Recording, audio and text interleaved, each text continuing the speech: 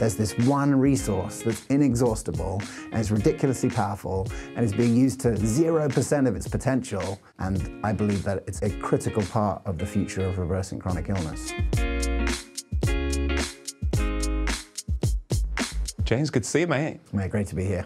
Also, we had a great dinner last night. And over dinner, you said to me that for a lot of people, their friends are getting in the way of them being healthy. They've Yeah. either got to choose their friends or their health. Yeah.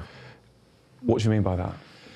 Yeah, so you know we've been running um, group medicine for the last two years, all online. So getting groups of people together and taking them through a lifestyle enhancement process.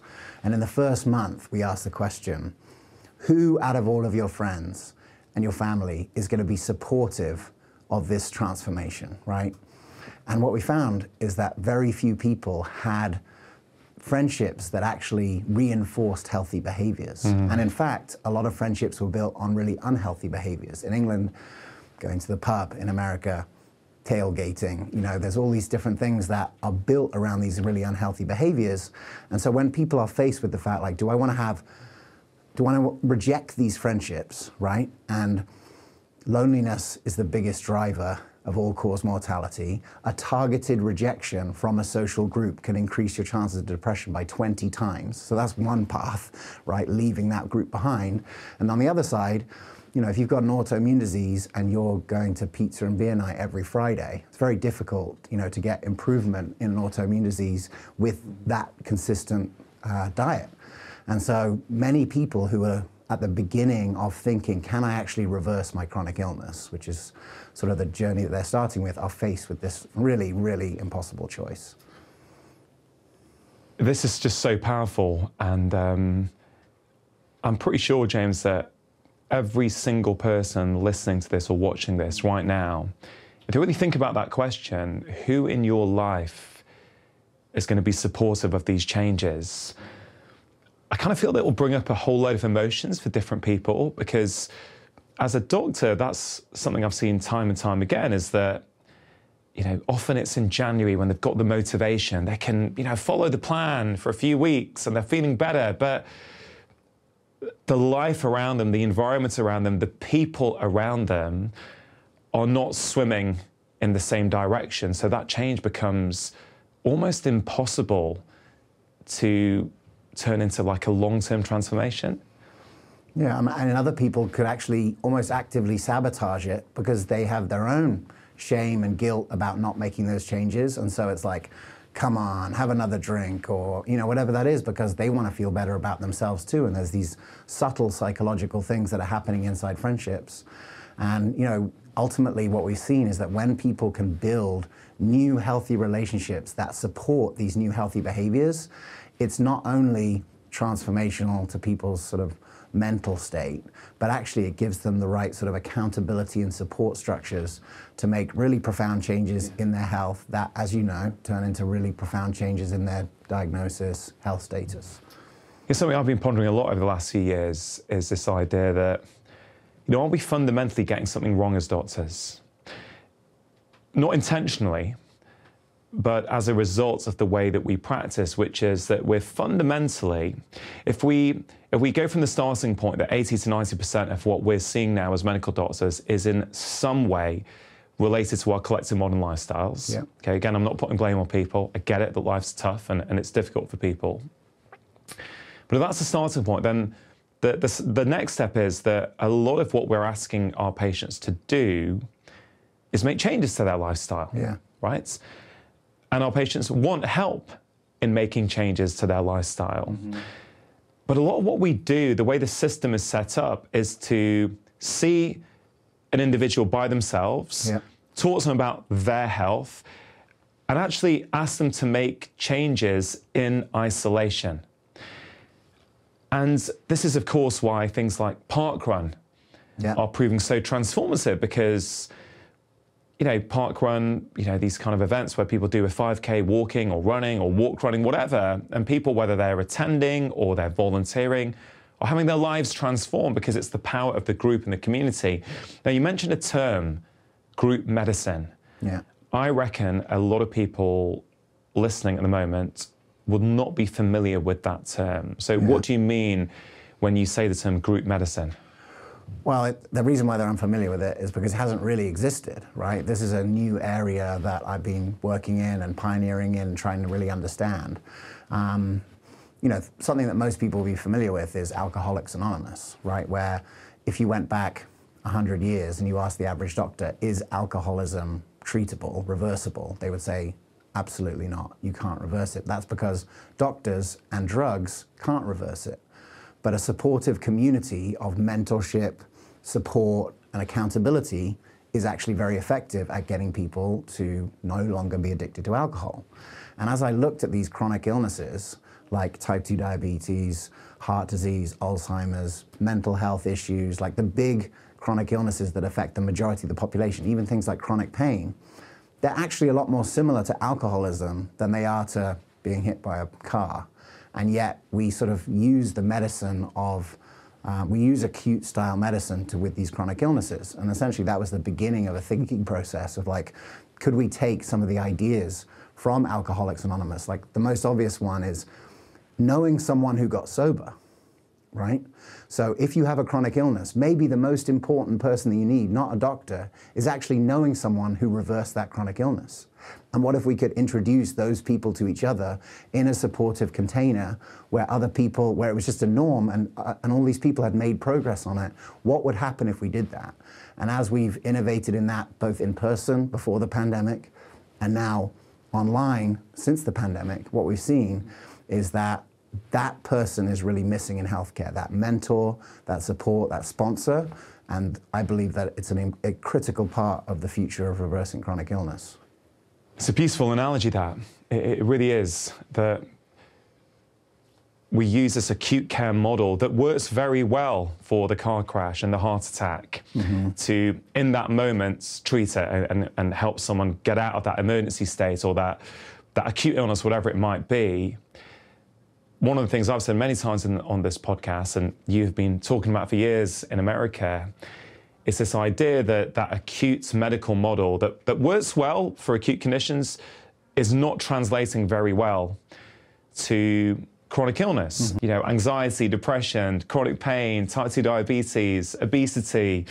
Um, even things like gut problems and yeah. even low libido I'd put in this category. You know, these 100%. these are all these kind of chronic conditions that are bothering us and affecting us, but we still see these things as medical issues. Yeah. And I think that's what's really interesting about your work to me. Are these medical issues or are they actually social issues? Yeah. Well, it's really interesting. As I started researching uh, my book and I, I, did a TEDx talk on this topic, started to really see that many things that are now medicalized were actually just a part of community, right? Um, before technology, you know, if you look at technology through the Industrial Revolution and then um, now into the information technology revolution, all that, um, so many of the things that used to happen um, as part of community uh, are now sort of outsourced to the medical system. So, you know, grandma um, had a lot of knowledge about how to keep you healthy. Um, you had, you know, people in your life like uh, what we now are like babysitters and grief counselors. Like this was just things that were provided because a group of people knew each other and supported each other through those kind of things. And as uh, technology has dissipated community, there's this sort of missing layer, and everyone's just on their own, me against the world. And ultimately, the need for all these services just goes up and up and up and up. And ultimately, you know, community is something that um, is a, such an elegant solution to so many of those things, but it's been lost. And ultimately, you know, my, my thesis is essentially that we need to recreate that community. Now, that can happen in many different ways, but ultimately, if the issue is chronic illness, and people are coming into the medical system because that's where lonely, sick people end up, then the medical system is the place to re energize community. Yeah. I don't think it's an over exaggeration to say that you are someone who is transforming healthcare in America. Um, what you're doing, yes, with your books, but more in terms of the stuff you're doing now, in terms of helping clinics, doctors, healthcare systems utilize group medicine in a way that's effective and working and improving health and reducing costs is transformative, right? Uh, I want to get to that. But I think you just made a really powerful point that the lack of community that we have now is ending up as medical problems. There never were medical problems. You know, I, I remember chatting to Tim Spector on the show a few months ago. And I think I said to Tim, you know, one of the big problems I, I, I think in, around the nutrition topic Yeah. is that we need nutrition experts, right?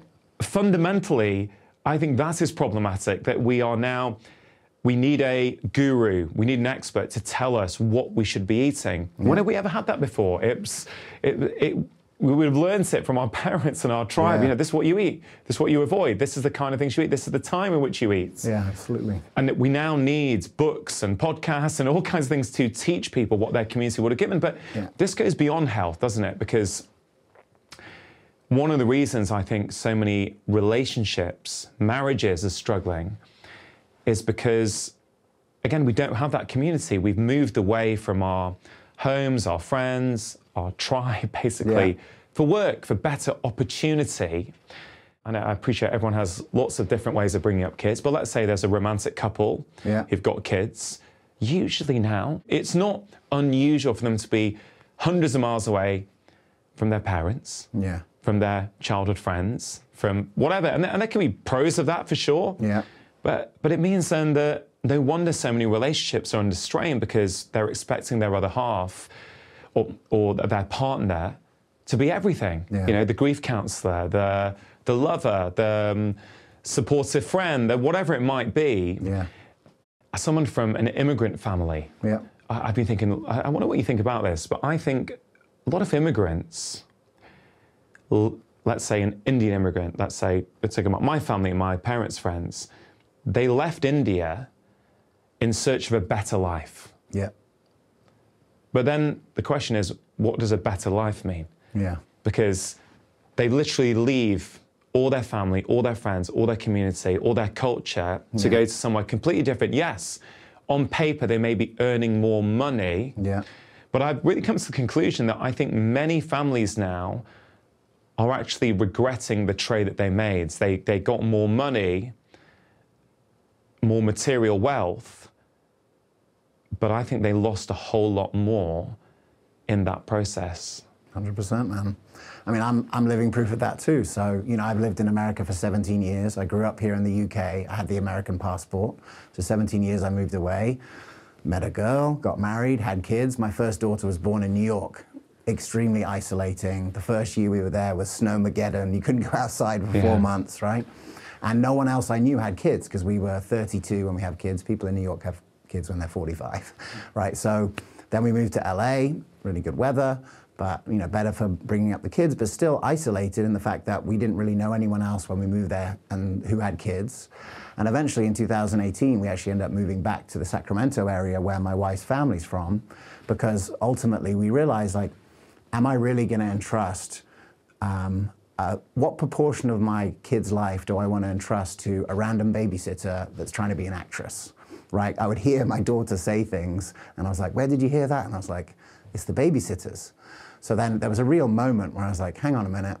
It's really important to have family around. My wife's family is from the Sacramento area, and so it was really important to me to um, you know, give my daughter, now two daughters, the opportunity to be around people who genuinely cared for them for reasons of, you know, altruistic and, and real love, right? So that was the first thing. And I will say, um, I could visibly see that my daughter's nervous system shift when she when we moved there and she kind of realized that she knew and trusted everyone around her and that there was no you know sort of random new characters coming into her life every day. That there was a serious moment of like that i saw okay we've done the right thing. Beyond that you know when i moved there i realized like i don't know anyone here Yeah. you know so who, who's going to be my new friends and how am i going to as someone who's interested in community what sort of community do i want and you know, ultimately, one of the best decisions that I ever made in my in my life in the last three years, I've been part of a men's group. So every week, uh, for three hours a week, there's a group of anywhere between you know four and nine of us. There's nine of us in the group, but not everyone can make it every week.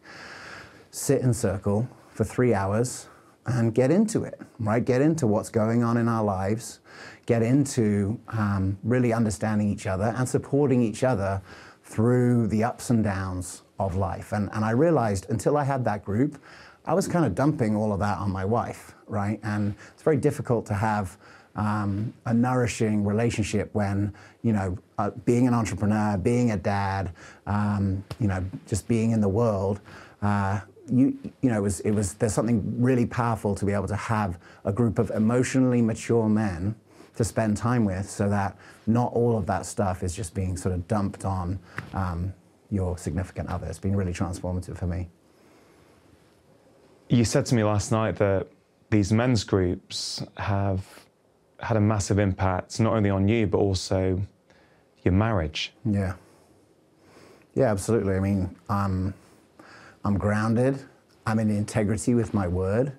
Um, I show up as a much better father. Um, I don't bring the frustration of whatever's going on in my day, you know, to my wife unless there's something that we need to connect about. If there are things that I need to connect about with my wife, I have other emotionally mature men in that group. Part of the men's group is actually building a capacity to feel, right? What I realized is my capacity to feel, feel emotions, had been blunted somehow. Um, drinking, um, whatever other things that you know had, I've done there. That was it was. I realized like I had a sort of a sort of a deadness inside, in that I couldn't feel the emotions that I could see that other people felt. And through this process, you know, the, the process that I'm in, the group that I'm in, has a number of different factors to it. But each week, the first thing we do after we sort of share, okay, what's going on in our lives and what do we need to get out in order to be really fully, fully present for the group, is about just sitting there and thinking like, how am I feeling? Right? And how am I feeling today, right now, in the present?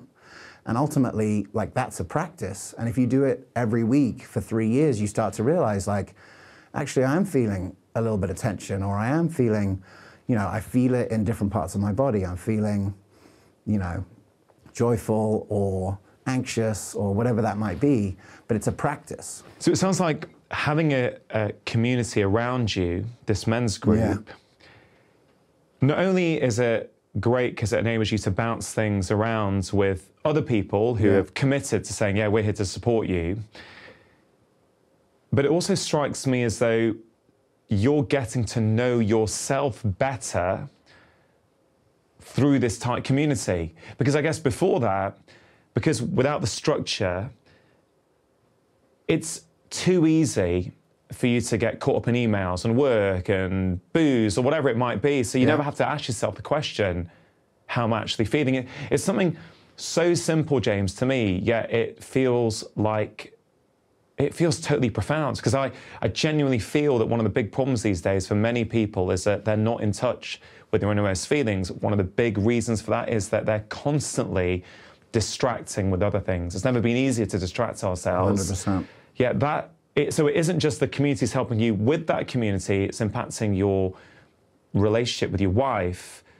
It's also impacting your relationship with yourself. 100%. Yeah, I mean, there's that. Uh, the next round that we go through after feeling is really about accountability. And I realized like I was very professionally accountable, right? Where I had employees and team and mentors, and I'd be like, have I done my work this week? And, you know, I was accountable in that way. But I wasn't really personally accountable. I'm an only child, right? So I think part of it was like I could just get away with whatever I want because it's only in here. And if, if no one else saw it, then it didn't happen. But it resided in here. Yeah. And it was blocking that feeling. And that ultimately, you know, being in integrity with my word, right? And being accountable to my word. If I say I'm going to do it, then I do it. That has been transformational for me. I mean, I don't drink anymore. Um, you know, I, and, you know, I, I would, when I was younger, I would sort of laugh at people who had made that kind of transition. But ultimately, the way that that's showing up for myself, you know, for my business, for my family, for my kids, you know, these are the most important things. This is why I'm here. I'm here for the mission. I'm here for my family. Everything else, you know, can just fade away a little bit. What I'm hearing is it's very much about waking up to a more intentional life. about a life where in the past maybe you're reacting, you're living on autopilot. Yeah. You're just doing things because people around you do them and you think that's what you're meant to do, but actually, for a variety of reasons, through the power of community, the accountability that you have to have for these guys, you're making much more intentional choices. You know, you're not giving up alcohol because someone's told you you should do it, or oh, it's good for my health if I do it. Actually, you're, from what I can tell, you're giving it up, at least for the time being, because you've realized it's not actually helping you be the person you want to be. Yeah. That's very, very different. And again, coming back to one of things I think about in terms of healthcare, a lot of time people are trying to follow someone else's plan. Okay, what should I do? Okay, how long do I do that for? What benefits am I going to get? The doctor's plan. The doctor's plan, exactly. Yeah. And as I wrote in the conclusion in my last book on, um, so my fourth book on, on sustainable weight loss, I, I, put at some point this plan has to stop being my plan. Yeah. Has to become your plan. 100%. Because you're the architect of your health and happiness. You understand what works for you and what doesn't. So the I, locus of control has to shift from the doctor to the patient. That's the key thing of the transformation of healthcare. Is the doctor in charge or is the patient in charge? And the group is the structure by which that locus can be transferred and, and the, the patient can actually participate. So let's get into that. People currently think medicine is I have a problem with my health.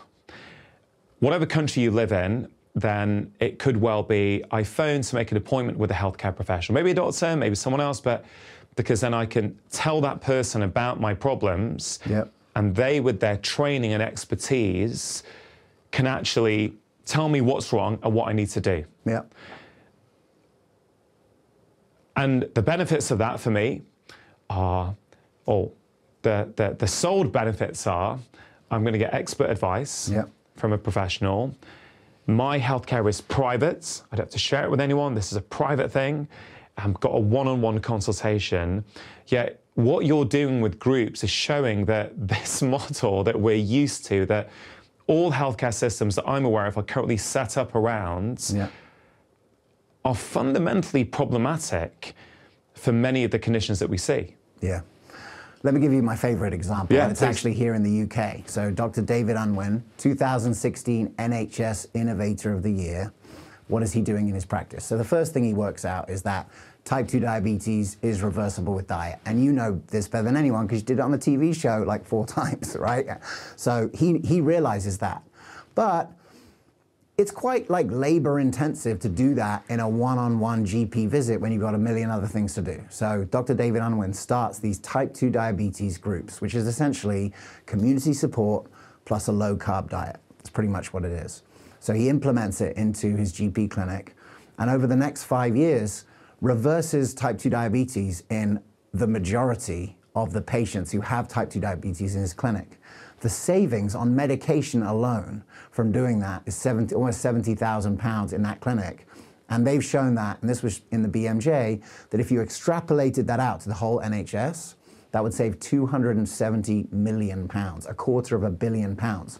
One chronic condition, right, just being done a little bit differently in a group, supported in that way. So, you know, if we're here, if we want to talk about the transformation of the NHS, and you're looking at, you know, what sort of examples do we need to lead out of the pandemic to the future? Look at that and say, look, is there is there an example? Is that a good example of what we look? Lower cost, more access, more love, more accountability, more support, more professional satisfaction. Patients getting better as well. Patients getting better and not reliant on the healthcare system. I mean, that's incredible. And you think those savings should have anyone in any healthcare system, their ears should be pricking up, going, yeah. okay, how do we do that? Yeah. And, and, you obviously know how to do it because you're doing it, yeah. right? And I'm very hopeful that what you're doing in America, you're going to be able to bring to the UK very, very soon because you, you're, you're figuring out what the obstacles are, what the problems are. We'll come to that, right? But what is it about a group then, right? What is it? You said earlier, the most powerful thing for someone who struggles with their alcohol intake and you know wants to reduce it and ultimately get off it yeah is to know another alcoholic who no longer drinks. Absolutely. What is the magic in the group that they're not getting from the experts? Yeah. There's a, there's a key person that I would sort of, the term that I would use is a health coach, right? And that's the term that we use in America. And essentially, the health coach, it's not a health professional, it's not a dietitian, it's not a nutritionist.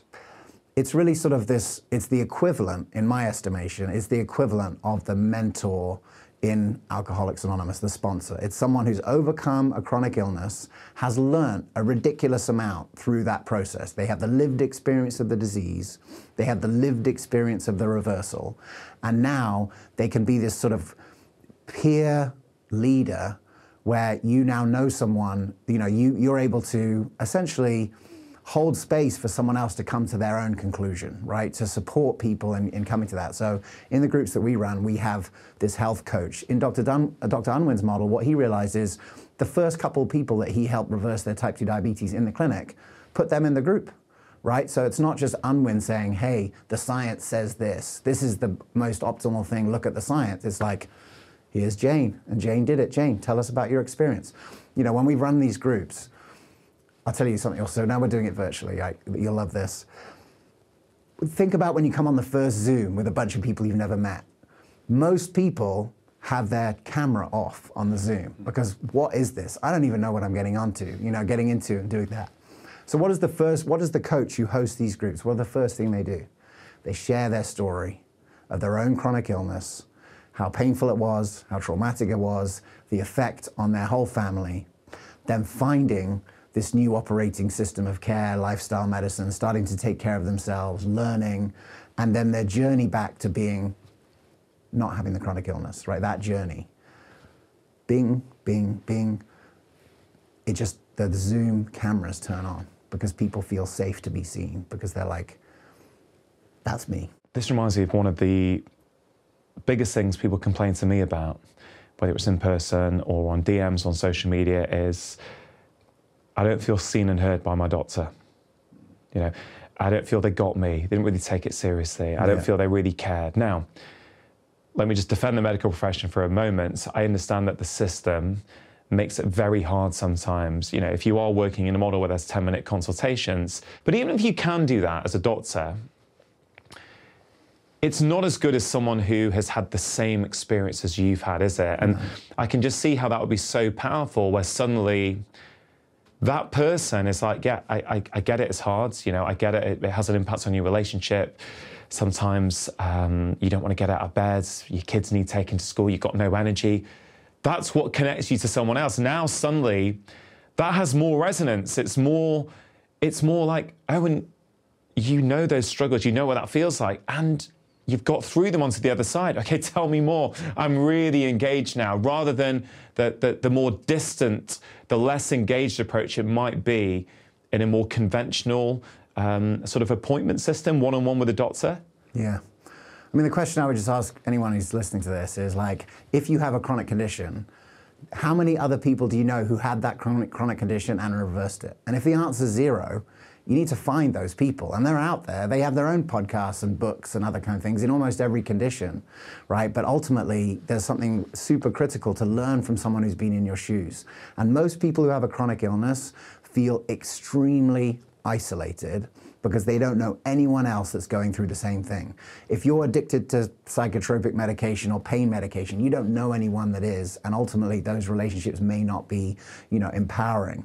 And ultimately what we've seen is that if you can find other people that have gone on the journey that you're trying to go through, you, you, there's, a, there's a shared resonance, there's a shared experience, people feel safe, right? That's the big, it sends community sends the signal of safety, right? You're safe here. This is a safe environment where you're able to share because I'm starting off by sharing my experience and now it's safe for you to share. And look, some people feel safe straight away. They're like, oh, great, I've been waiting to t- tell my story. But other people, it takes weeks or months. And that's why the episodes of care that we've made is a six month group, right? Because What does that mean, episode of care? so, like, you know, when in our model, when a doctor prescribes you into the group, the group is six months long. And the goal is each month we focus on one of the pillars of health. So, the first pillar is community and connection. The first month is really about can I create trust in this collective, right? Hence the first question Yeah. who, which of your friends, which of your community, which of your family are going to support you in this change, right? So that all feeds into this first pillar community. Yeah. Other things that we do in that first month, SMART goals, right? Everyone who's ever made any sort of changes in business or otherwise in coaching, you know the SMART goals, right? So, how do, what is your goal for this next six months? You've got enough time to do something really transformational. What do you want to do? And to it to come from you. It's no longer the doctor saying you should reverse your chronic disease in the next six months. It's like I'm going to reverse my chronic disease in the six months. That's what I'm going to do, and that's like an internal motivation that's coming from them.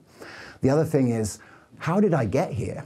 right? How did I end up with a chronic illness, right? One of the things that I think people hate this the most is that in their mind, the doctor's kind of telling them it was like healthy, healthy, healthy, healthy, healthy, lupus. It didn't go down like that, Yeah. right? The body was breaking down over time that eventually leads one marker to be at a point where you have lupus, but it was a slow, Yeah. you know, dysfunction, right? Over time, you got more and more dysfunctional, and then at a certain time, your hemoglobin A1C goes over seven, and you've got type 2 diabetes. But you had something was going on before. You weren't Yeah. just healthy. It didn't just happen, right? So really understanding sort of like the, the where the illness came from. So that's like month one. And then also we, pro- we, we pair people with what we call a progress partner. When we started out, it was an accountability buddy. Turns out accountability is not that sexy and people don't want it.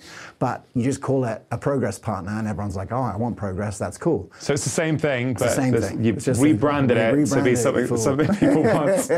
So then, um, month two, what do we do in month two? What is the what is the one thing that you can do that will make the biggest shift in your potential for chronic disease? What's the answer? Change your diet. Food, right? So in that month, the goal of this program with each month is, can I make one permanent change to what I eat? Now, the reason why you need a month is because you need time to fail right? To try, do something, fail, come back into the collective, share why it didn't work for you, and then sort of re reshift that, you know, the, the, the, the plan. Whatever the plan was, if it didn't work, why didn't it work? Deal with that and then come up with something that's going to be real. And that's why we have challenges. And the challenges are really simple. In week three of the, each month, the challenge is like, eat a few new vegetables. Like as an example, what is the impact of someone eating a few new vegetables on their physiology, right? If then you do it for the next five months, it can be transformational, mm. right? So there's that. So that's, you know, month two. Month three, stress, right? How do you deal with stress? How do you, you know, what are your, what are the ways that you deal with stress? Can you try some new stress reduction techniques? Month four, sleep. You know, I've heard you say a million times that a good night's sleep starts in the morning. So we really focus on what is your morning routine? The sunlight, having um, good sleep hygiene, Yeah. not having the phone in the room. You know, we've had some people who come through the group who are doing all of these perfectly, but their smart goal is, I want to change my relationship with social media, right? It could be that kind of thing. Like people have their own goals, and that's the whole point. It's not like the doctor is saying, you know, you need to do this. It's like people are coming up with their own one. The fifth month is all around movement. So it's like creating regular movement and structures where you can move every day. And then the sixth one is your environment. And so what you see, if you make one permanent change in each of those things, you are a dramatically different Yeah. person by the end. And the outcomes prove it out. So anxiety, depression, pain, fatigue, sleep struggles, in our groups, the vast majority of everyone who has those issues in the groups have a remarkable transformation in that six months, a clinically significant reduction in those areas. It's just, you know, like a lot of the best ideas,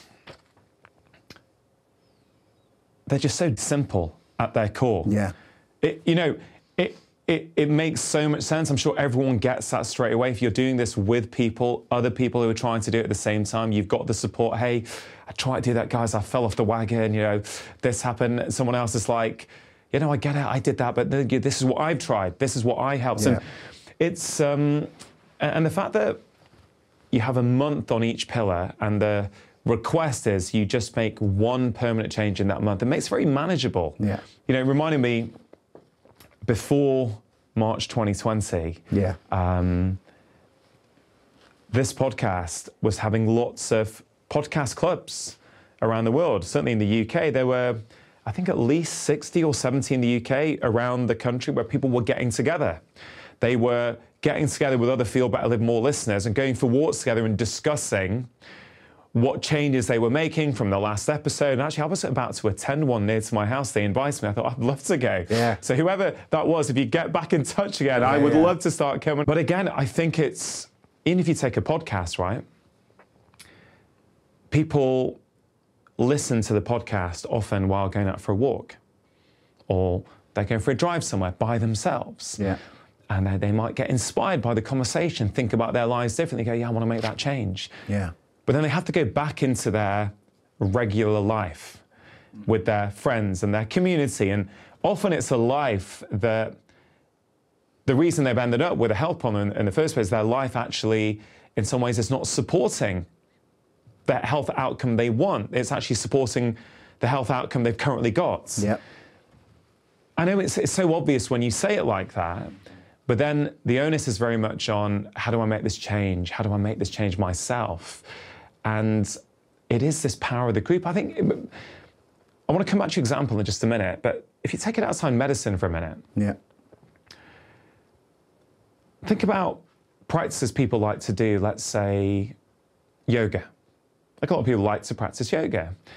And because of busyness in life and um, how many things people feel that they have to do these days, it clearly saves you time if you do a yoga class online or from a YouTube video, right? You don't have to go, you don't have to travel to it, you don't have to find a parking space or whatever you might do. Yeah. So, yes, it may be more efficient time wise to do it at home. But actually, again, we miss out a big piece. There's something, if you are in person with another 20 people who also want to practice yoga and the interactions you get beforehand, the struggles other people may have, and then you see what the teacher says to them, you go, oh, you know, maybe that's what I'm, you know, there's something about being together. I'm not, Yeah. Of course, it's not either or. But I, I often say to my patients, if you like doing this at home, you do 10, 15 minutes a day on Zoom or on a YouTube thing, if you can, go to a real life club as well or a class where you're surrounded by other humans. And it really is transformative, isn't it, when we engage with these groups? Yeah, super transformative. There's another amazing example from the UK that I'd love to share Yeah, with yeah, you yeah, because I guess the question might have people like, what does this look at like at scale? Like, could this really be a transformative agent for the world? Like, if it was done? And right in the UK, there's another great example, actually quite near where I grew up, and it's a town called Frome. And Yeah. You've actually had uh, Julian Abel. yeah, on the a couple here. of years So, ago. You know, their thesis was exactly this: people are lonely, and that's driving you know the, these um, health outcomes. So in Frome, which is 115,000 people. Um, what they thought is, could we make, could we solve loneliness? Could we cure loneliness in the town of Frome? And how are we going to do that? There's five medical practices, so they hired a coach for each of these practices. The coaches spend half their time in the clinic speaking to people, and half the time in what they call these talking cafes, right, where people um, they sit in cafes and actually just meet with people. But the key thing that they did is they they took an inventory of every group that was happening, not just health groups, but all kinds of groups church groups, sports groups, men's groups. They took a whole inventory. There were 2,000 groups. They whittled it down to uh, four- 400 that were regular, anyone could join, had a you know, constant location, consistent location. And so essentially, this was a website where you could see, and essentially, what, what the what people would do if they came in and they saw that the, these people were lonely, especially older people, they would sit with the coach and the coach would say, "What do you like doing? What do you want to be part of? What you know do?" And then say, "Hey, look, here are the different options. Which one you go? Meets this time per week, at this location. Go get them." The other thing that happened is they recruited 1,500 just people in the community that walk around with this green lanyard, right, to let them know that they're a community uh, connector. And they would just send people to the website. They had no role apart from say, hey, here's the website, go to it, find something for yourself. So in a time where you know the healthcare costs and you know everything was going up in Somerset, which is in the town, emergency room admissions went down, recidivism on drugs went down, and loneliness was essentially solved by one small town in the UK. So on one end, you have the David Unwin example of reversing chronic illness in, in, a- in small groups. On the other end, you have sort of like a societal um, shift driven by medicine again. And ultimately, you know, the, the solution, in my estimation, to the, the super elegant solution to so much of healthcare is sort of at the at the nexus of those two things. And Julian has said it himself since I've had a chance to know him is that he realized the first thing was to get people in these groups.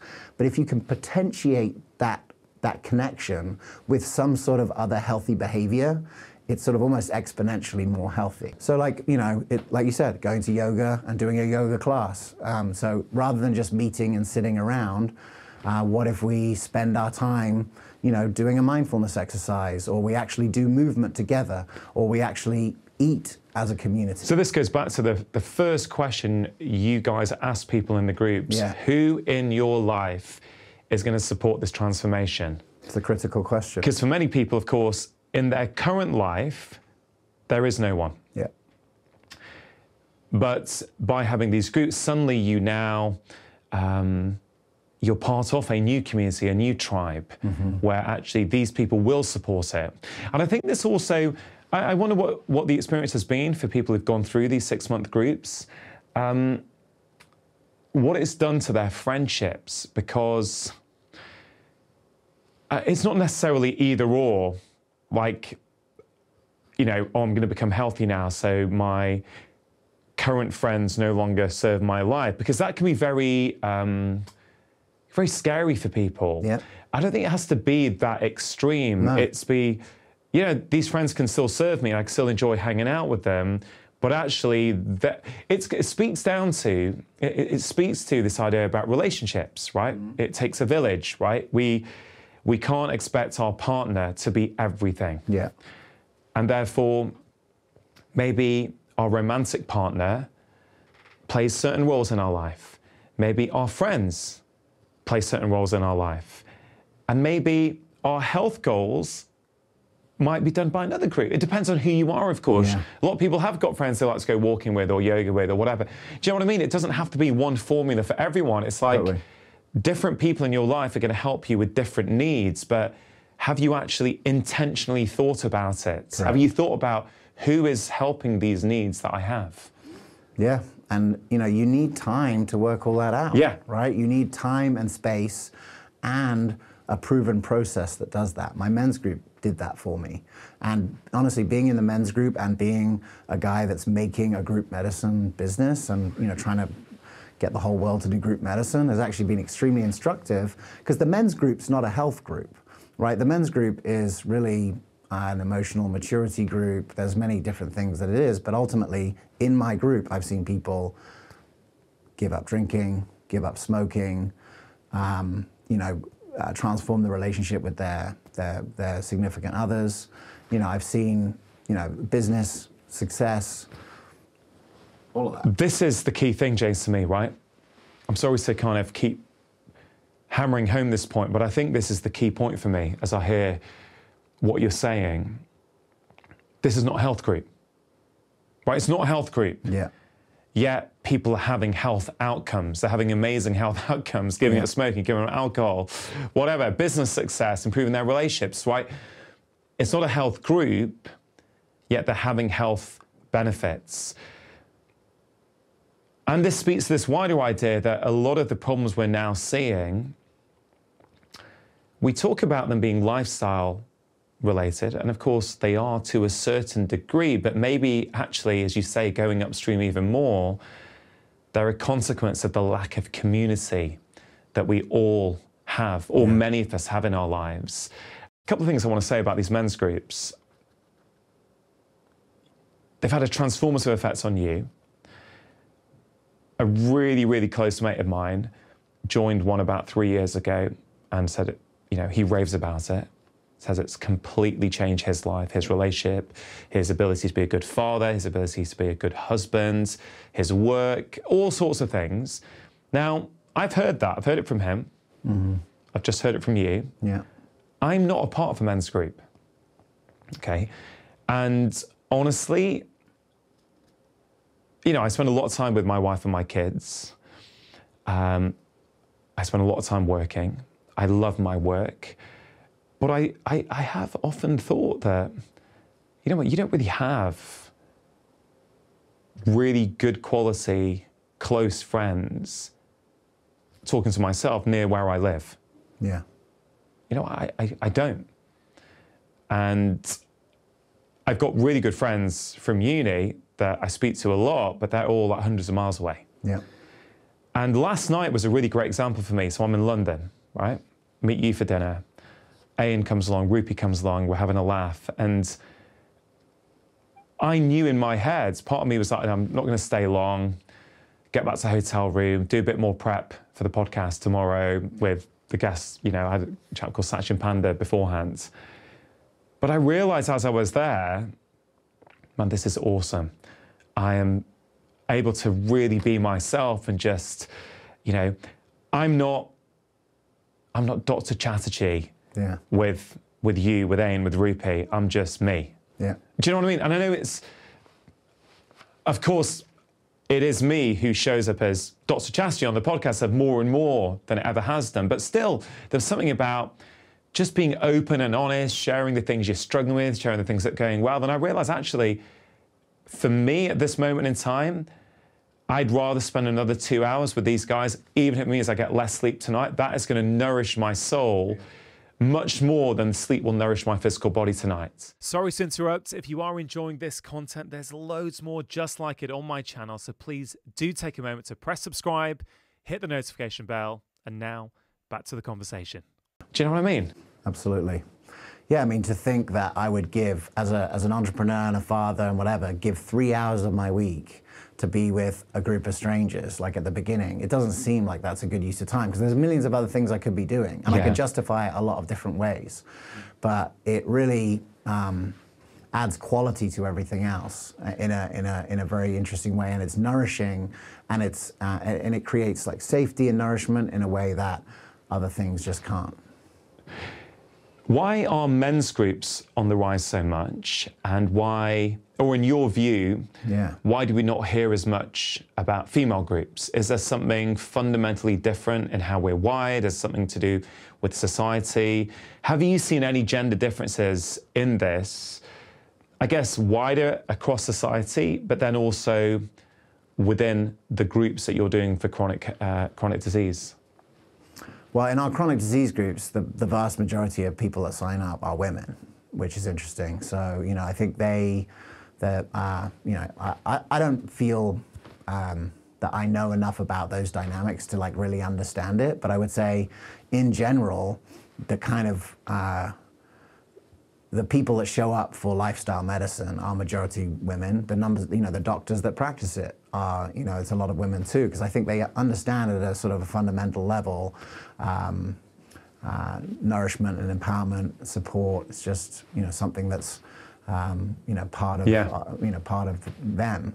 I think men are needing it more and more because I think a lot of men realize that the sort of like competitive side of, of men and the sort of like emotionally dysfunctional part of men that is sort of celebrated in society in a weird way um, ends up being like quite detrimental to their relationships, their ability to um, lead, uh, manage people, work with people, Yeah. have good long-term relationships with people. And I think that there's just sort of a new generation of men who realize like, you know, if I want to be able to feel feelings and have a truly human experience with, Yeah. on my time here, it's going to take work. And I don't know what to do. So I want to go and find some people who do. Yeah. Right? The, the average, you know, the other people in my men's group, there's a guy who's 65, there's a guy who's 60. You know, that I'm, I'm one of the younger people in the group. And these are people that in some cases for 20 years have been doing this work. They still have their own stuff, but they're working through Yeah. it. But their advice is so powerful. And it's the same energy of what we're talking about with the health coach. It's just like a kind of a, an unpaid life coach. You know, the whole thing's free. Right, there's no cost for me to be in the men group. It's just the only cost is that we meet in this random room at a church and we pay them, you know, a tiny amount to be part of it. Like, like you said last night, people helping people Yeah. is the only inexhaustible resource we have. 100%. Like, I couldn't stop thinking about that last night. Yeah, I mean, look, if you look at, say, we want to save the NHS, and then it's like, well, there's not enough resources. There's this one resource that's inexhaustible and it's ridiculously powerful and it's being used to 0% of its potential. We need to, that's what to build around. Yeah. Just speaking to men and women, and again, these aren't gross generalizations, but you know, one thing I've noticed when I go for walks around my neighborhood, is you often see women walking with other women. Hmm. I, I don't know, look, you live in Sacramento, I live in the northwest of England, right? Yeah. I have observed, if this is not a scientific experiment, this is, you know, just to be clear, this is just my observation, where I live, what I've seen. Well, you know, I'll take my wife. My wife will often go for her walk with her friends. Yeah. They arrange to meet. I never do that.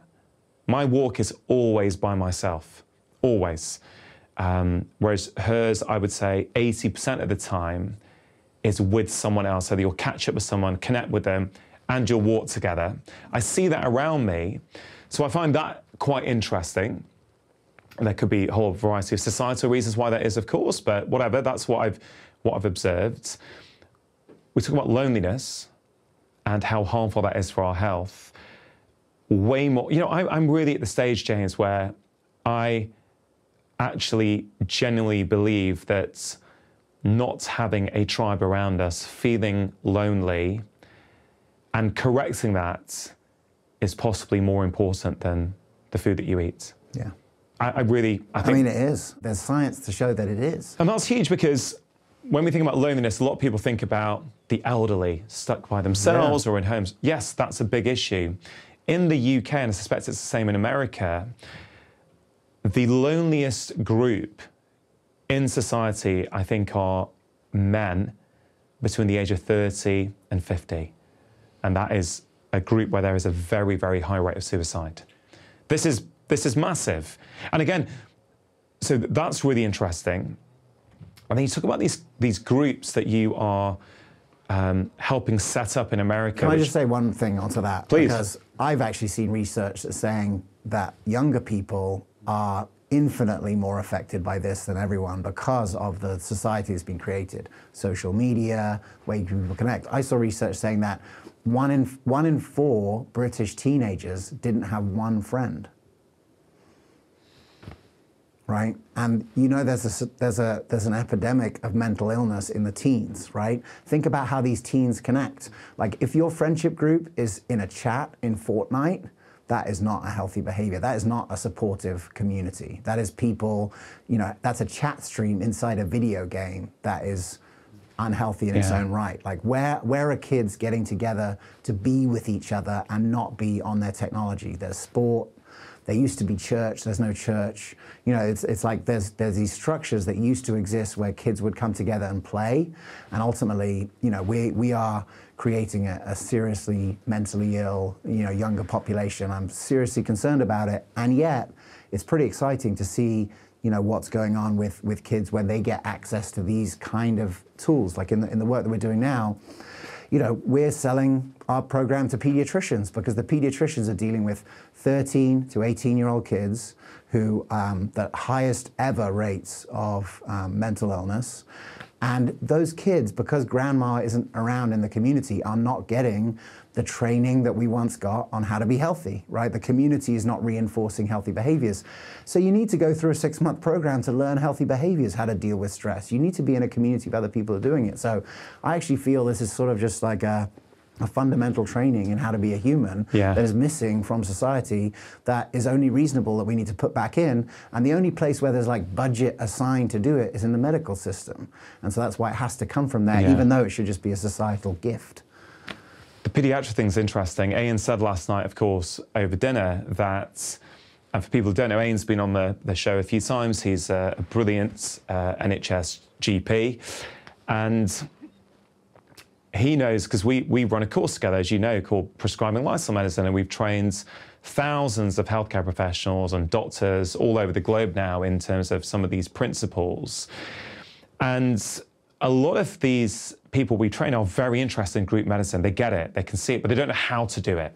Like the system is not set up, which is where I think you can come in. But Ayan said some uh, really good friend of his has used an element of this group medicine with um, pediatric respiratory patients. Yeah, that was amazing. Right, and when he shared that actually their, their, their admission rates to hospital and their how many times they're having to go to A&E now, I think it was with asthma, he said, gone right down because these families and kids and their mum and their dad are helping each other. So what's interesting to me, a lot of these doctors we train up, um, they want to do this, but they don't know how Yeah. right? So, what is it you've learned? Because you are, as I say, you're transforming healthcare in America, you're putting this into practice. What do people try and do? What do they get wrong when they try and do this? What do they not get? What are, what are some of these key things that you've learnt? One, doctors should definitely not be doing it. Okay, That's this- the key thing. Why? Because the doctor is an expert, and the doctor has spent their last, however long their career is, probably since they were 10 years old, being validated for their expertise, their retention of knowledge, their ability to regurgitate that knowledge. And ultimately, when you're in a group and someone asks a question, the most important thing to do is not answer the question. The most important thing to do is to let someone else in the group answer the question because then you're building trust in the collective. And all the doctors that I know that are amazing at this, and I know the best ones because I interviewed them for my book and I spent time with them, they actually had to go through a deconstruction of their own ego to be able to actually hold a group because it's so tempting to answer the question because they're an expert. And we're moving out of this era, like there, there's definitely room for experts, 100% we need experts, but not in group medicine. We need peers, we need support, we need you know mentorship, and that is not being done by a doctor. When we, we when we first started running these virtual groups, we had some doctors say, "Oh, I, I've done a weekend in coaching, I can do it. I'll run the groups." It was a disaster. There's also still this like there's this thing where the doctor has the white coat, right? And there's this inbuilt relationship that sort of patients have with what they assume doctors are going to be like. And that can be actually, you know, that, that can be um, unhelpful in creating trust in a group. So the first thing is, uh, you know, look, we've worked together for a long time. I think getting doctors trained in lifestyle medicine, um, getting trained in this sort of like lifestyle first root cause approach to health is amazing. And I did it for 10 years and I'm still involved in it. But what I've come to see is that the quickest way to facilitate the transformation is for the doctor to prescribe it. Because there's something about the prescription, like doctor, patients still will follow the prescription of the doctor. So, I prescribe that group for you you. prescribe, You're, you're going into this group, but then the doctor doesn't run the group, right? The only reason why you need the doctor in the group is to de-prescribe the medication. That's what we're seeing in America right now. The most exciting is chronic pain, right? Before COVID came along, opiates was the biggest issue in America, right? Um, you know, overuse of opiates, chronic pain. So in our groups, the doctor actually comes in once a month, and their only reason why they're there, well, there's many reasons for them to be there, but the biggest thing that they're hopefully doing is allowing patients, telling patients, yeah, you could probably come down a little bit on your prescription now. De-prescribing, the doctor has to be there because there's a lot of factors and the doctors have to know it. But ultimately, what the first thing we see is that doctors shouldn't be running the groups. The coach, this peer piece is a part of it. That, that's empowering on two levels. Even the doctors who want to see group medicine implemented, who've seen some of the research, go, and this, this course makes sense. You know, Ayan last night, what do you say? Yeah. I'd love to, I just don't have time, Yeah. right? So doctors are overworked anyway. So actually, it helps that because they're not having to do one more thing. And I love that, that actually I can totally see why ego and the way that fundamentally to be at medical school, there is a certain type of personality, right? And I, I can say this, I, and, you know, I, this is not in a derogatory way, but you know, a lot of people are super competitive. And, you know, a lot of people have been validated for that. a lot of them get their self worth. This used to be me. Mm-hmm. Get your self worth from success or external validation. Now, you know, how I've got rid of those things and why I feel happier and more content is something I've spoken about a lot recently, but that's a separate issue. The point is, is that I can totally see how doctors would not be the right person. And actually, their expertise and knowledge it can be downright harmful Yeah. in this setting.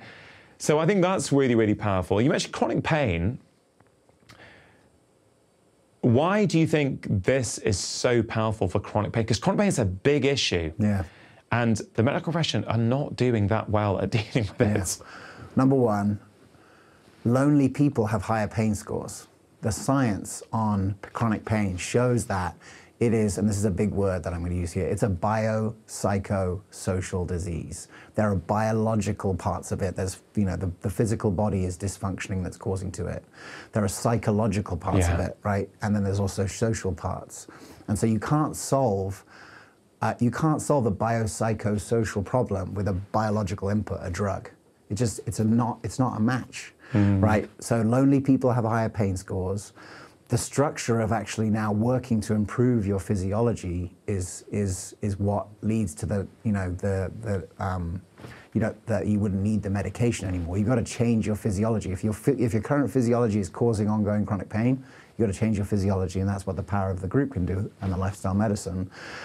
And then, you know, ultimately to have it then be prescribed by a doctor gives the validation of the medical piece. So the doctors is, is important for them to prescribe it, but ultimately the action is happening with the group. Okay, so first thing we get wrong, and we think the doctors need to run it. Yeah. So they don't. Yeah. Okay, great. What's that next hurdle that we fall at when trying to implement this? I mean, most of the rest of it comes down to like the boring, annoying details of rejigging a health system to do group medicine. So, like, one of those is, you know, we've had doctors that try to run this and they do it in person, right? Because getting in a group together in person is, is better than being online. But, like, if your clinic only has four parking spots and there's 20 people coming to the group, you can't run it. If there's no room where people can sit around together, you can't run it, you know? And so, what we found, even though the even though there might be more value in having the group meeting in person, with, with, a completely virtual experience. Like, what are the benefit? Why the, what are the reasons why people love telemedicine? Why do people love telemedicine? One, it respects your time. Right? You can come in from wherever you are. You can use your phone. You can chat to the doctor directly. You don't have to wait in the waiting room. You don't have to do deal with your kids. You know all those other things. It's very respectful of patients' time. That's why they like it. You know, so you get to come in from wherever you are. In America, there's a big conversation about the social determinants of health how do you get to the office, right? Whose car? The doctor's office. Who are you gonna, yeah. How are you getting there? And if you have to go there every week, then you know that can be tricky. But here's the biggest thing: health is happening outside of those sessions. Yeah. That's where health is actually happening. That's when you're making the decision of what you're going to eat tonight, or whether you're going to go for a walk after dinner, or what your movement for the day is going to be, or whether you're going to have the, the, the morning routine that you want. To be connected to the other people in the group at that moment is the critical moment. That's high touch care. It's, it's you're, you're able to touch with your people all the time. People know what this like, Rangan, because most people have had the experience of being in a Facebook group, yeah. right? Where you see that there's like asynchronous communication. Not everyone's there at the same time. Yeah. Right. So I can put something in and say, "Hey, I really struggled with this today, and but you know I did this and I did that." Put it in, and then you go off to work and then you see a minute later someone said oh i had that same experience you know or they said this thing really helped me here's an episode of Dr. Chatterjee's podcast. You yeah. know, that kind of communication is happening the whole time, and people are helping each other in the time that they're not in the office. And that's what we found to be the most yeah. valuable. And look, I think everyone would aspire that wouldn't it be great if every patient could have that kind of access to their doctor? There's just the resources don't add up. I'm yeah. an economist first and foremost. I'm a health economist, and so I come to this problem from a resource constraint um, you know, perspective. I'm not a doctor, but what I recognize is like, this is the path that people have to go to. And I spent the last 17 years trying to work out what is a way that can do it in a, in a way that is using the right resources in the right way to create the right transformation. And ultimately, you can see in that, in that process that allowing people who are inside they already have an agreement of what they're doing together. They've set their SMART goals, they've set their collective intention. Another thing that we do at the beginning is help them to sort of define as a group what this group is, like what the name of it is, what it's going to be about for them. So they're like bought into it. And then they're just supporting each other throughout yeah. the process. And ideally, forever. I mean, in the, in the book, I spoke about some of the original group visits. It starts off as a type 2 diabetes reversal group. But what do you do once everyone's reversed their diabetes?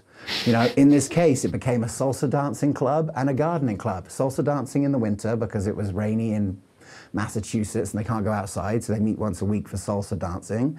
And in the summer, it was a gardening club. Both really healthy behaviors, when done as a group, even healthier. And the, some of these groups have gone on for 20 years. Yeah.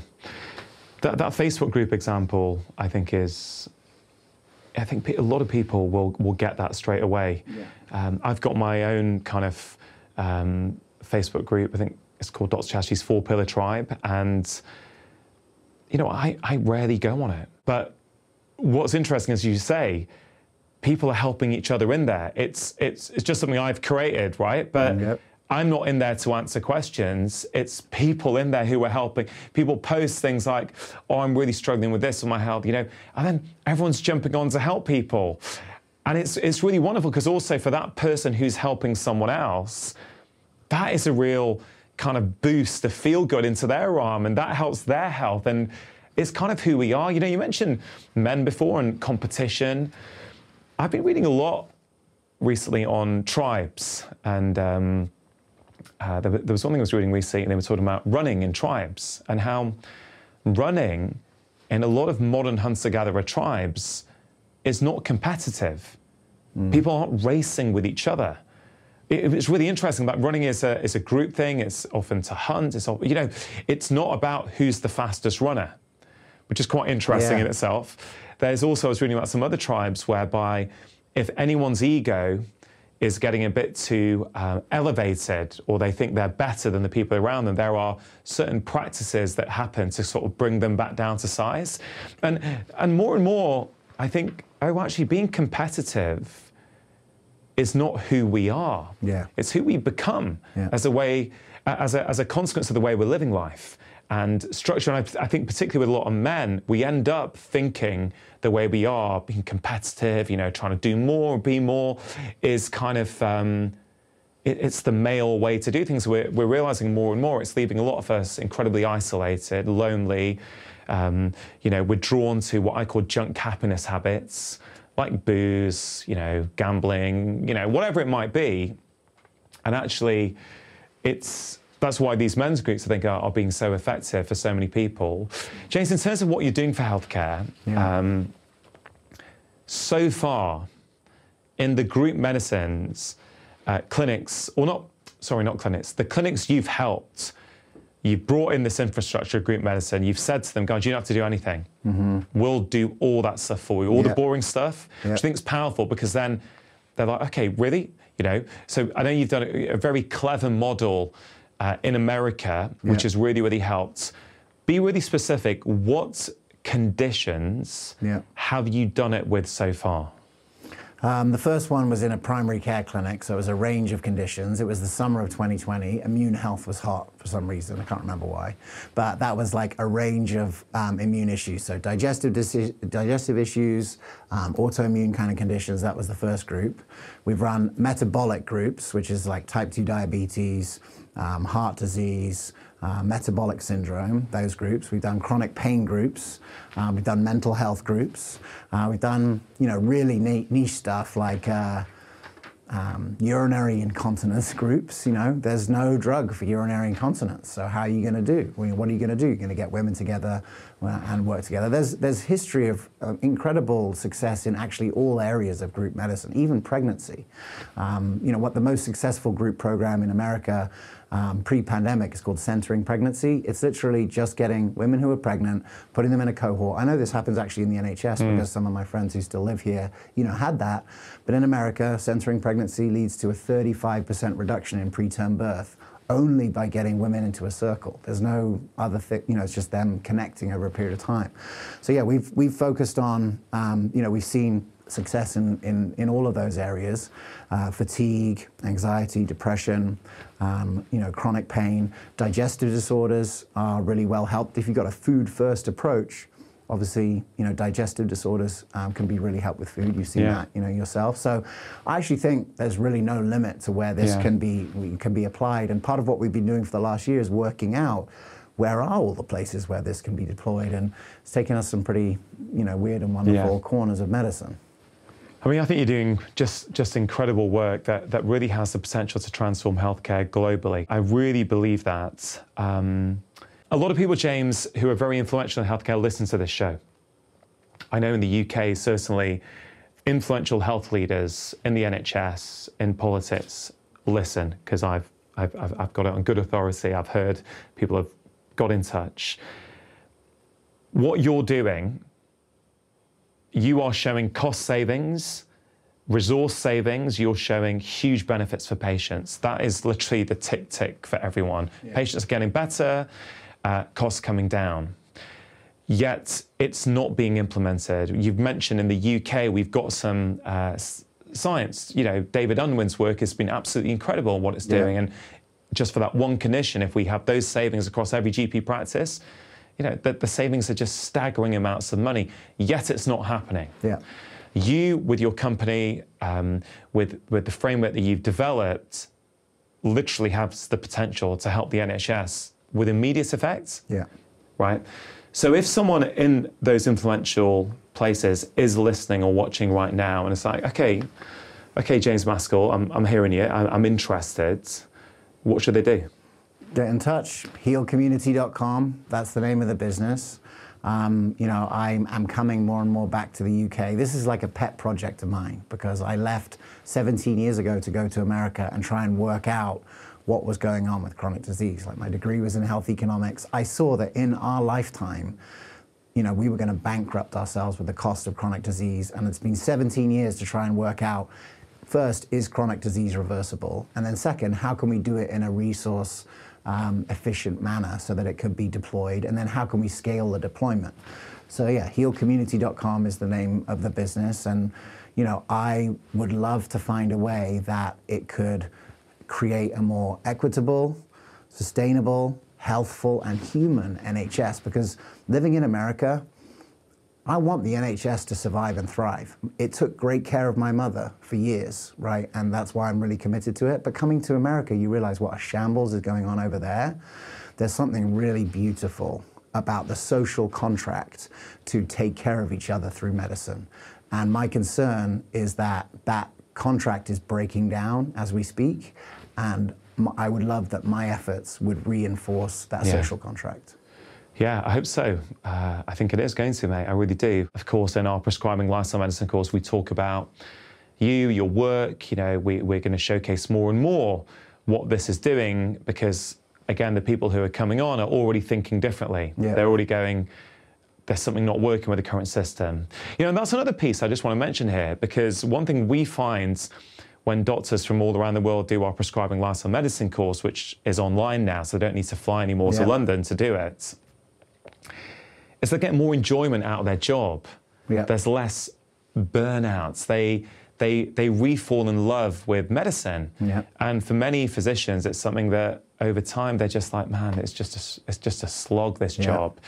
Is that something you're also seeing? Yeah, hundred percent. I mean, you know, even just now in the, in the pandemic, right? You see a 400% increase in demand for mental health services there's no more doctors, there's no more providers, there's no more therapists, right? That's an equation that just doesn't add up. And so what that ends up doing is putting way more pressure on the doctors, and they feel that pressure because the, the pain of transformation of the patients, the pain of the patients sits squarely on their shoulders. The beauty of this is it takes that pressure and it redistributes it over a group of 20 people. And so, with that, if doctors know that that group can take care of that, they can really focus on spending time with the people that they can really help.